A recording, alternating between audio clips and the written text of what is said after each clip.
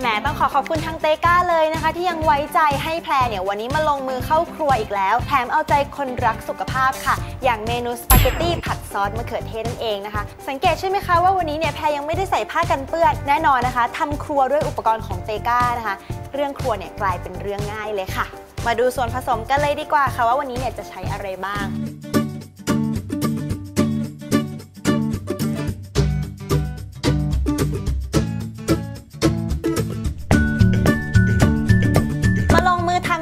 กว่าค่ะ ก่อนอื่นนะคะนี่เลยเราจะใช้ในส่วนของเตาไฟฟ้านะคะ ในการต้มเส้นสปาเกตตี้ค่ะ เปิดเตาแป๊บ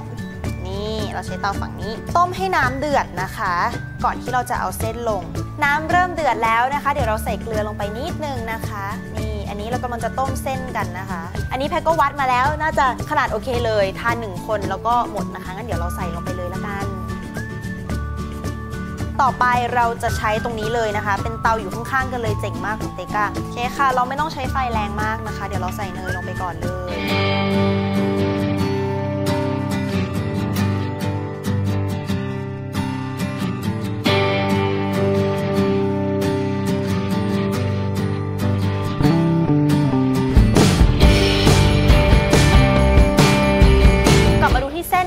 นบ้านะคะ ก็น่าน่าจะเสร็จพอๆกันพอดีเลย มันดูนิ่มๆแล้วล่ะ เราคือแพรเป็นคนชอบแบบว่าเส้นกรึบๆหน่อย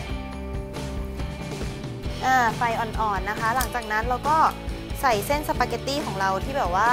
สะเด็ดน้ำออกแล้วลงไปเลยโอ้โหถ้าใครชอบเนื้อสัตว์นะคะ สามารถใส่เป็นซีฟู้ดหรืออะไรก็ได้ เพราะว่าการทำสปาเกตตี้หรือว่าพาสต้าเนี่ยมันค่อนข้างแบบว่า open เนาะ DIY ได้ง่าย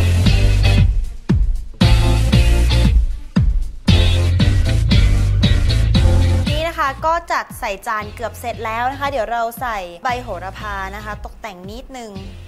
แล้วก็เสร็จแล้วนะคะ นี่คือสปาเกตตี้ซอสมะเขือเทศนะคะทำง่ายมากเตาไฟฟ้าของ Teka work มาก จริง ๆนะคะ ต้องบอกเลยว่าเหมาะกับคนที่ทำอาหารโปรๆนะเพราะว่าทุกอย่างเนี่ยเร็วสุกร้อนนะคะ ทันใจมากๆเลย ใครที่สนใจเตาจาก Teka นะคะ สามารถคลิกเข้าไปดูได้ในเว็บไซต์ค่ะ www.teka.com นะคะ หรือว่าโหลดแอปพลิเคชันของ Tega ก็ได้ค่ะ มีให้โหลดทั้ง iOS แล้วก็ระบบ Android ค่ะ หรือว่าจะง่ายกว่านั้นนะคะ สามารถโทรไปพูดคุยกับพนักงานได้เลยค่ะ ที่